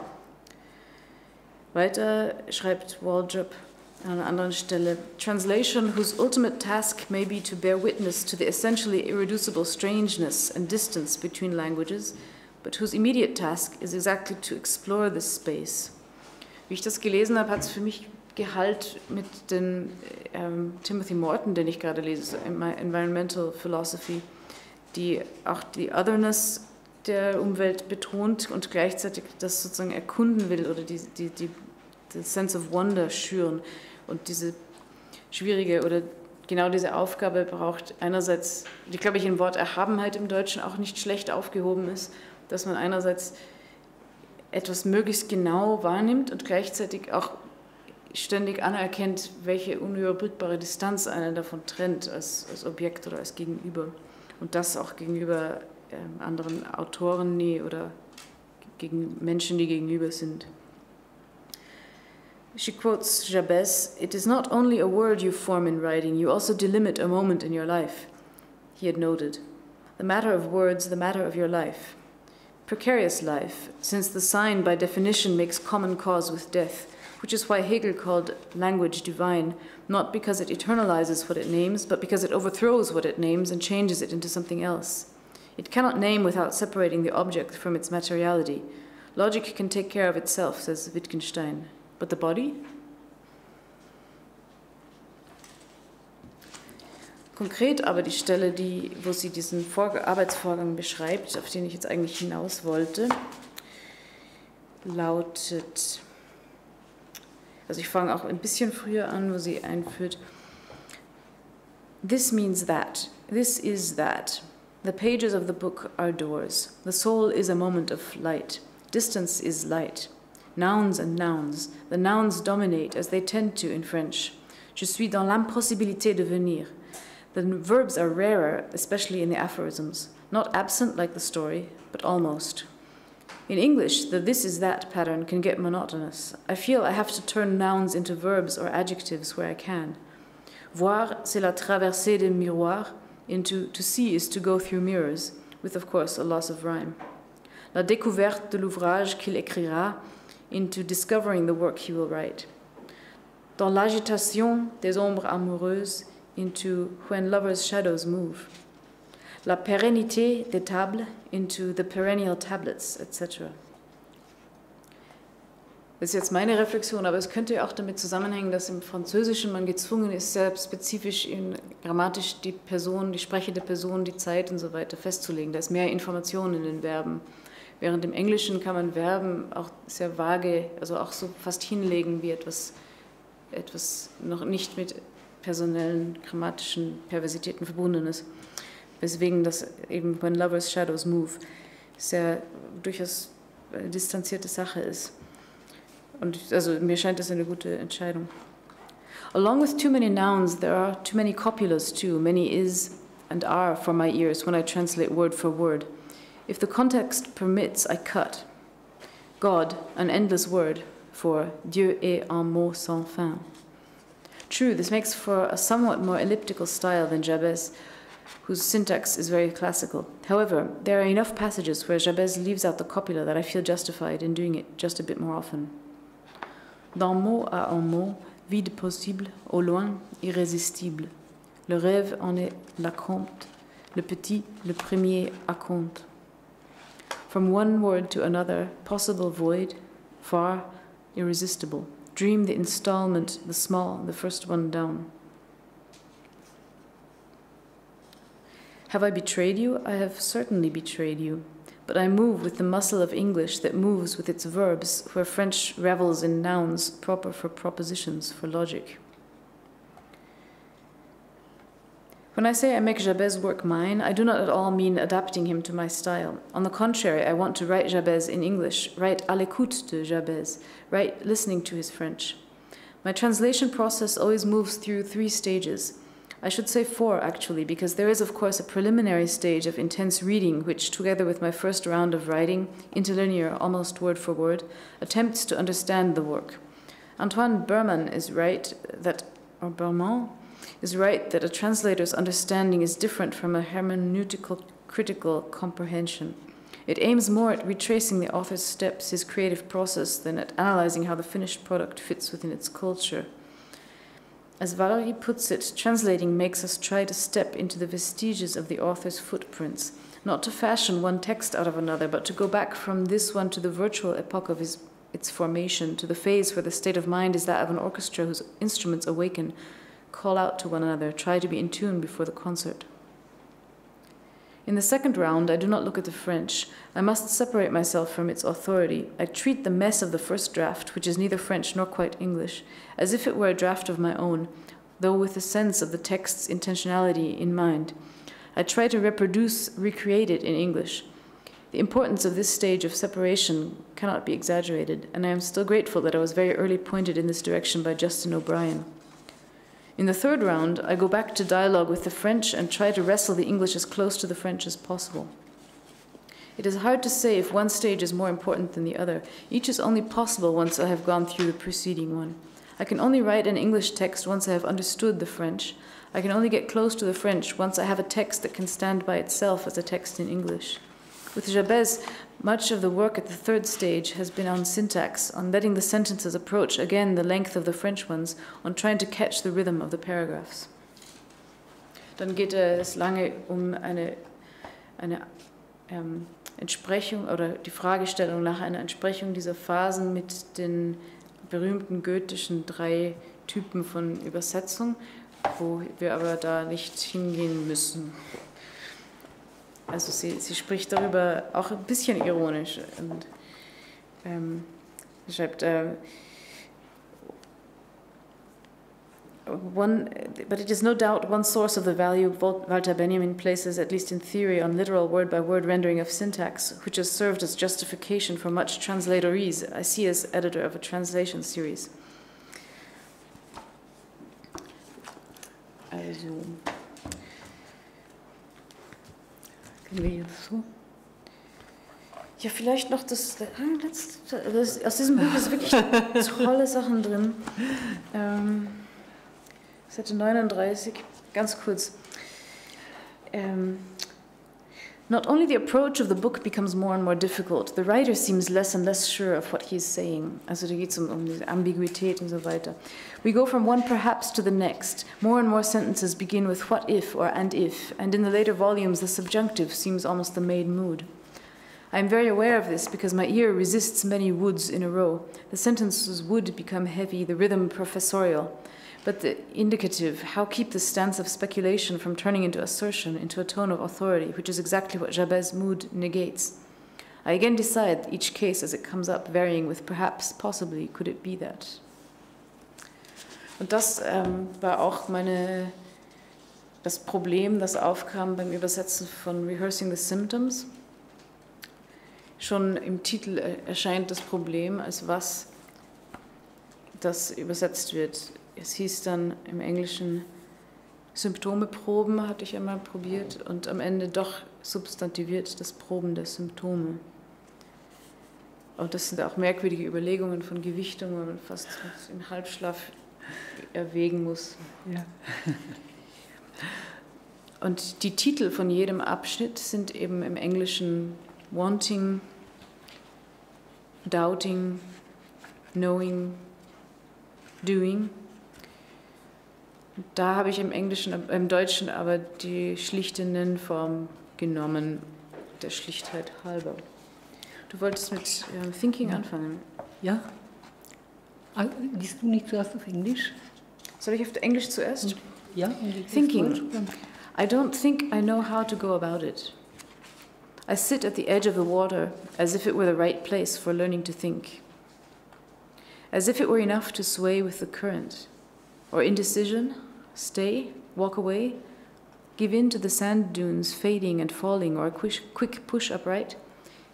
If I can't walk, might I let might I yet, like Parkinson patients, be able to dance? My brain's incessant activity seems fruitless. It can't be thinking. I put it on paper to encounter it outside myself, an obstacle, a wall with a grain, with pores where I might discover a pattern. Then I'm recalled to my body by legs as if pricked by needles. How can I think when I can't even see? Night falling swiftly, shifting around me like water. Can one look at nothing and hope for help? Is it a matter of rocking with the dark monotonously? But I'm speeding or slowing down the long lane where thinking gets lost in layers of dust, failing precision, failing to see, to embrace, the gulls circling, the vast empty space, traffic noise borne in on the wind. Should I take off my clothes, nudity being power? But would I know my body scattered among memories? Impossible to hold in the mind all at once. If I let the night invade my eyes all the way to the horizon, as if it had a body, might I then see the cause of my not seeing? It might be a beginning. Denken, ich glaube, ich weiß nicht, wie man es anfängt. Wollten wir nicht ab, also immer das nächste dann? Achso, ich sollte. Ah, ja, okay. Ja, gut, okay. Also dann kommt Zweifeln, Zweifeln ja. Okay.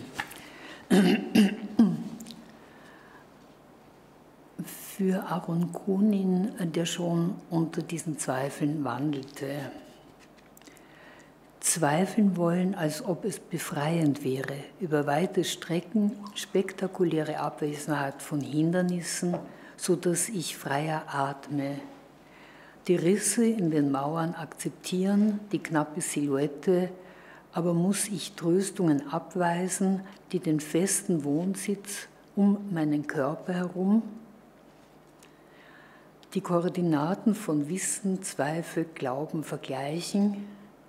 Was, wenn zwei oder drei, wenn zwei oder mehr Theorien auf die Fakten passen, wenn die Fakten in sich mehrfach Perspektiven auflösen, werde ich einfache, einfachste, eleganteste wählen oder die heimlichen Wünsche erfüllt ich versuche meine Wahl zu rechtfertigen, ohne das Feld auf bloße Oberflächenerosion zu verringern und frage mich, wird Zweifel meinen ganzen Körper füllen oder wird er sich in eine Modulation öffnen, die etwas, was nicht existiert, nicht, dass ich zerstören, ironisieren, auch nur die Tür zuschlagen will. Ich bezweifle, dass es nützlich wäre, mich selbst zu erkennen.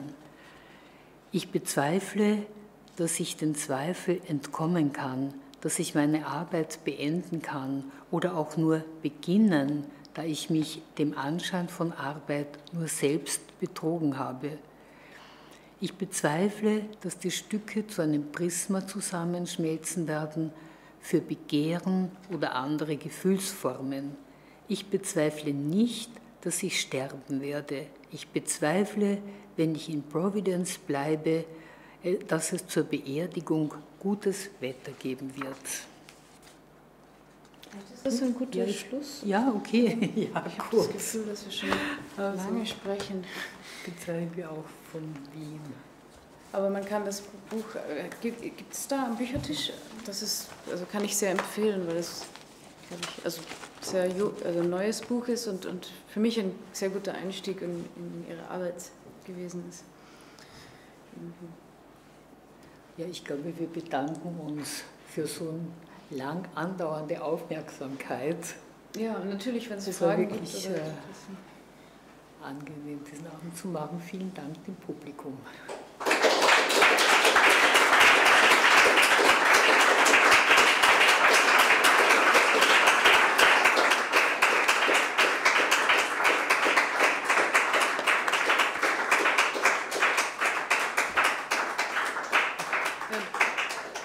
Grüße nach Providence, falls Rosemary Walger tatsächlich